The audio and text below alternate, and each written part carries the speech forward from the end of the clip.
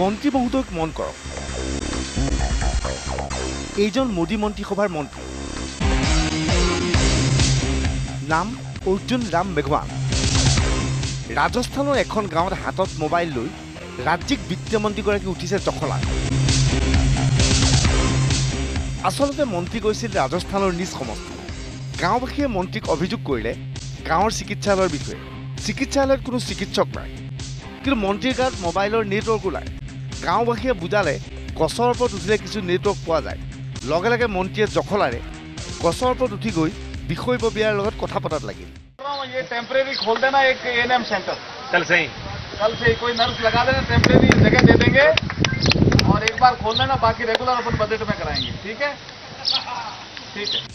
ইতিমধ্যে এই video viral হৈ পৰিছে।